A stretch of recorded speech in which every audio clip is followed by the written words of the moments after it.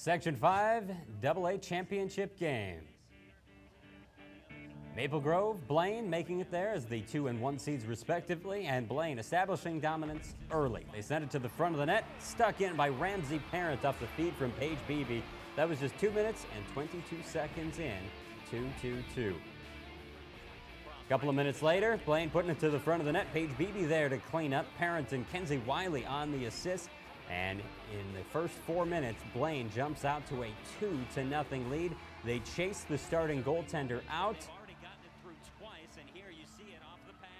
That was it, four minutes, and she's done. Coco Francis came in to replace, played well the rest of the way. However, goals were hard to come by for the Maple Grove Crimson. They didn't get any in the second, but Blaine got back on the board in the second. Abby Jones, right place, right time after the feed from Deanna Lemire. I thought it was Lemire. I thought it was Lemire. House of Pepper Incorporated. It's neither of those. It's Lemire.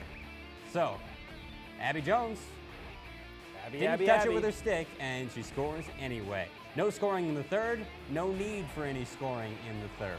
Maple Grove, they did their best, and there were some fun moments, but Jayla O'Brien flashing the leather there holding Maple Grove off the board. So the celebration in a shutout victory.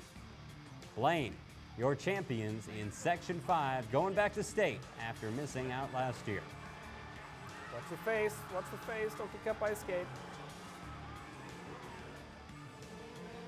They all came out healthy, wealthy, and wise. Probably. And they're going to the state tournament once again. You're a Section 5 AA Well, champion. he classified as a game between two big dogs, and he just wanted us to come out hard because we knew it was going to be a tough game. We played him early in the season, tied 1 1. We just wanted to get back to the state tournament like we were two years ago. So we all knew it was a big game. We wanted to come to play. Alrighty, thanks, Ramsey. Jayla, you had yet another shutout. How does this one feel? Um, well, this is definitely the best shutout I've had yet, obviously. I mean, staying now, yeah. But, um, I don't know. It's just, I don't really pay attention to my shots during the game, and I just try to stay focused on, like, the puck at one time, so. And Abby, what do you think Coach will want to take from this one tonight? What? what do you think Coach will want to take from this one tonight? Um, that our teamwork was good, our passing was good, like we worked together as a team, and we got the job done.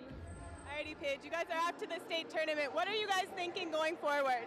Um, definitely take it one game at a time. Um, win every shift, play hard, get pucks to net, and then obviously crash the net and try to get it in. Alrighty, thanks, ladies. Good job tonight. Thank you. up next season. But tonight, all about the Blaine Bengals.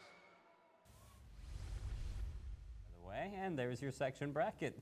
3 nothing that final. So uh, Bengals, who missed last year but went to state two seasons ago, are going back again as a representative from Section 5 in AA. Yeah, and you can watch that highlight and all the other highlights we have on our YouTube channel.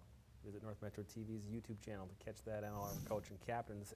Here it is, the state tournament. Bengals are there. They draw the number two seed behind Edina. They'll be taking on the Roseau Rams in the first game on the first day, on Thursday at the X. Eastview Lightning taking on number three Hill-Murray Pioneers. Farmington Tigers taking on those Edina Hornets, and then the Forest Lake Rangers taking on the Eden Prairie Eagles. Defending champion Eagles. Oh,